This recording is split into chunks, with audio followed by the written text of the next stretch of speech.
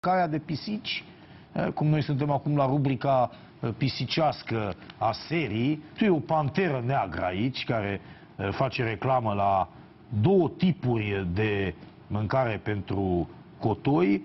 Una se numește Delice du jour. E un fel de cuscus de ăsta.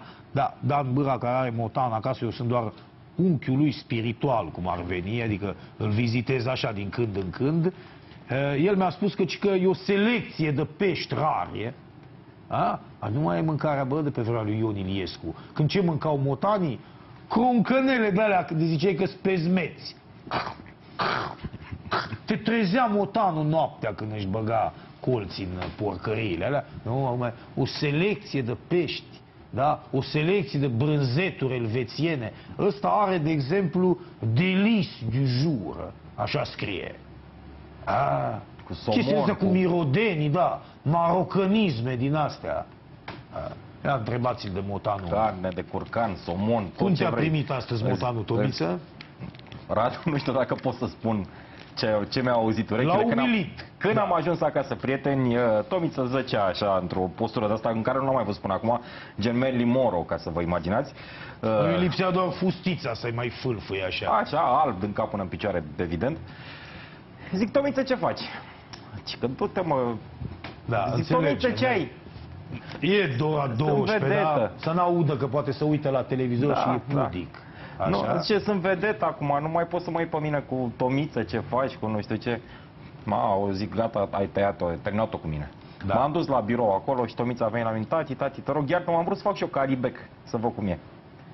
A apărut cu filmulețul, dar sunt poze cu el pe Facebook. Avem și noi una. Uh, Poate reușim la un moment dat să o punem tot a lui. Am zis că a recunoscut că el a făcut asta. Sunt curios acum, Radu, Bine, să dacă... nu-l aresteze Dane după asta. Sunt curios dacă La suntem... Paris îl arestau. Sunt curios dacă suntem și noi cunoscuți în lumea pisicilor acum, cum e Tomiță cunoscută în lumea noastră. E, dacă nu, vin vidrele peste noi, lasă, o să-ți povestesc eu. Eu o să-mi iau vidră, sigur. Pe mâine, fraților, mai puține ghetuțe, dar mai multă pasiune. Rămâneți cu bine. O seară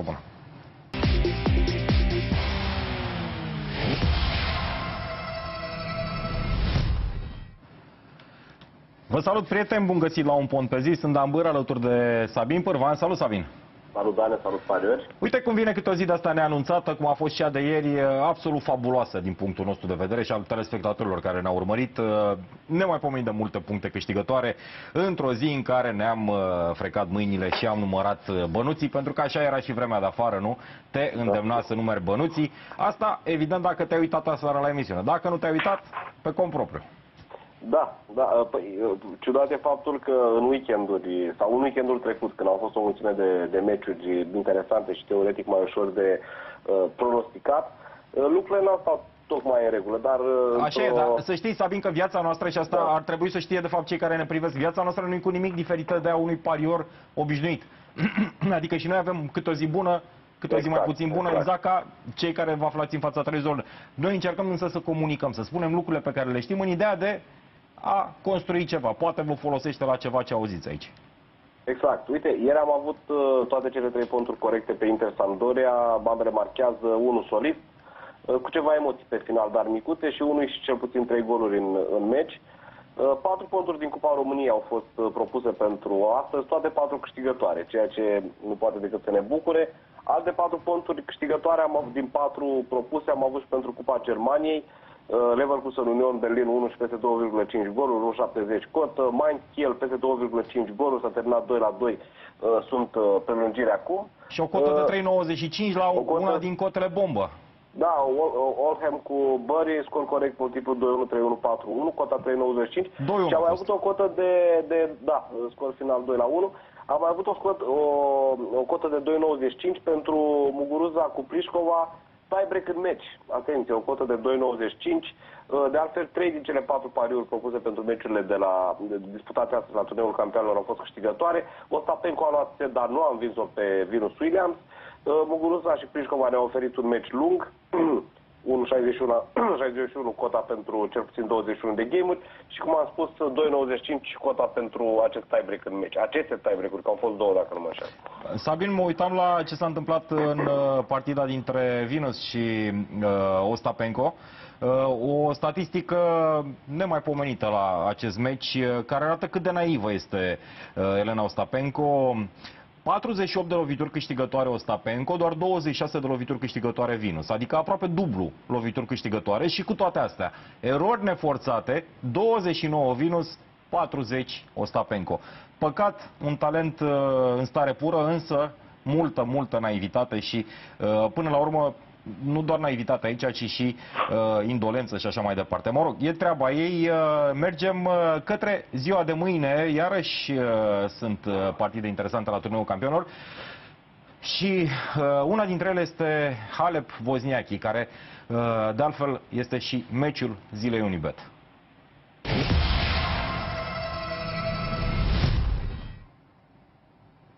Creșteri de cotă pe uh, victoria lui uh, Halep, așadar uh, bookmakerii se așteaptă ca uh, românca să aibă un meci dificil.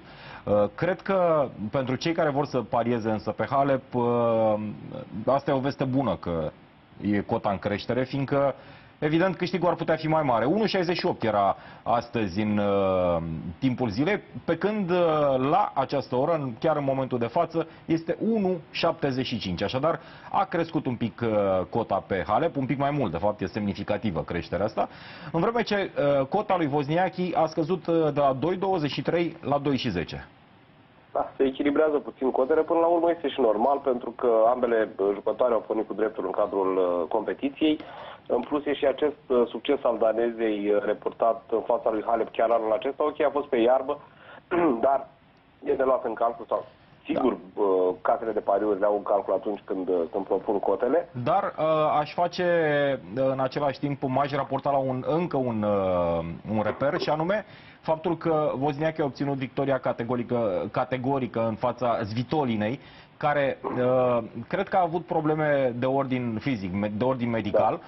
Uh, iar uh, uh, forma, să spunem așa, dacă se poate vorbi de formă în circuitul feminin, Simone pare a fi totuși alta din perioada de iarbă exact, a circuitului. Exact.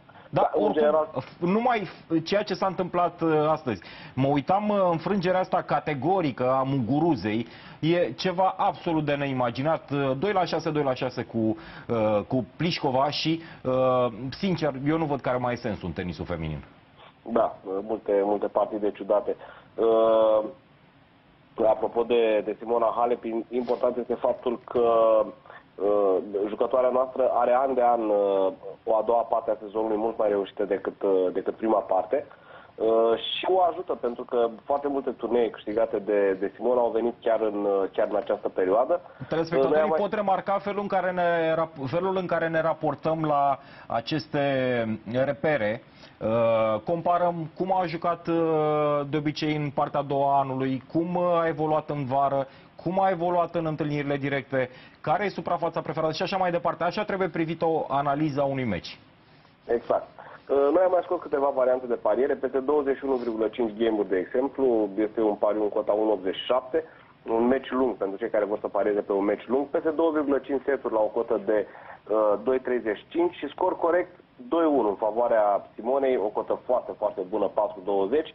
Pariul nostru va fi pe, pe victoria Simonei, o cotă de 1,68 uh, era inițial, dar, uh, cum ai spus și tu, a crescut la 1,75. Mizăm pe uh, capitolul încredere la Simona, pentru că aici a câștigat cel mai mult în ultima perioadă.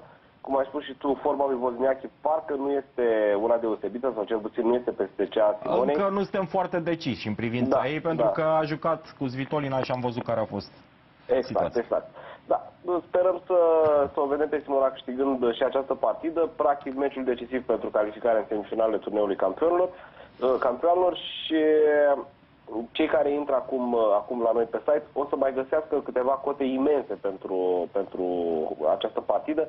Chiar primul, uh, primul articol de pe site-ul pariul12.ro are referire la această partidă și la o cotă foarte, foarte mare pe, pe victoria jucătoarei noastre. Da, așa a fost cazul uh, meciul, uh, cu meciul Barcelonei din Barcelona, weekend, uh, 4, când avea da. o cotă de 4. Bun, uh, Sabin, uh, așadar, uh, victoria Halep ar fi undeva la 1,75 acum.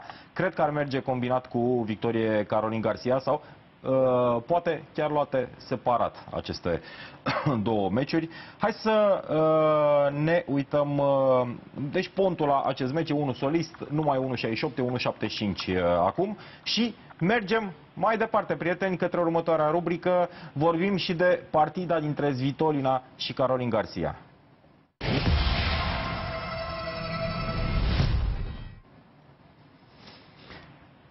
Cotele sunt destul de uh, atractive, fie că pariez pe una sau pe alta dintre sportive, uh, dar, spre exemplu, set câștigat de Garcia are o cotă de 1.36. Acum, 1.36 cu siguranță nu este un uh, pariu cu care să te îmbogățești, însă e un, uh, un pariu pe care îl poți pune pe un bilet alături de alte uh, câteva meciuri. Acum, iarăși, uh, pariorii, încerc un pic să explic și pentru cei care, care se pricep mai puțin la pariuri.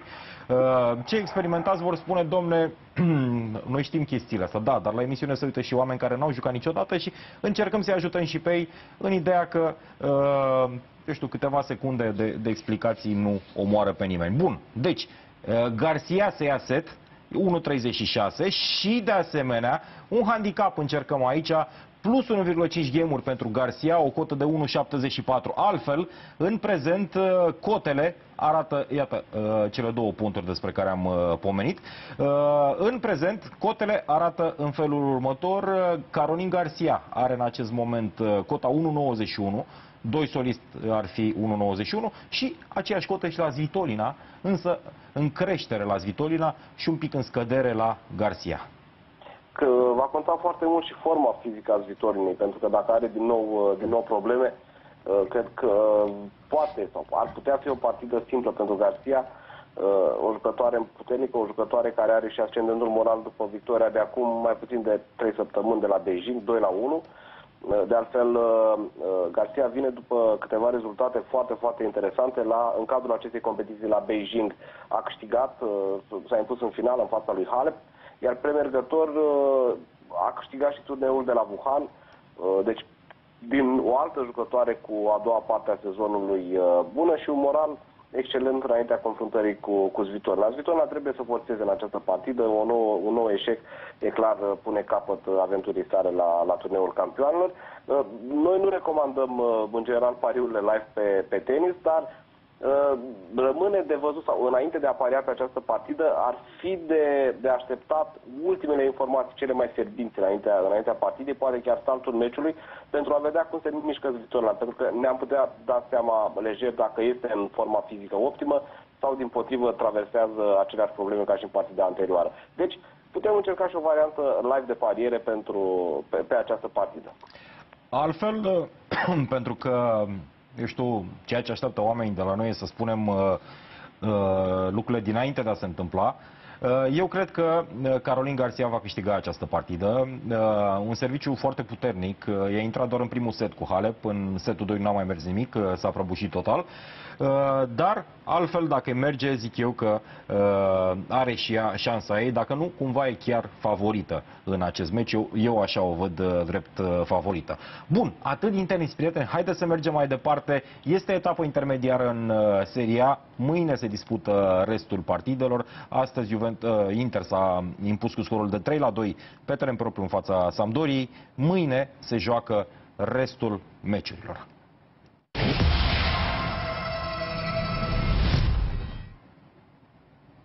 Juventus uh, primește vizita lui Spal și uh, cred că torinezii sunt într-o răbuvnire de orgoliu în uh, momentul de față. Ce părere ai, Sabin?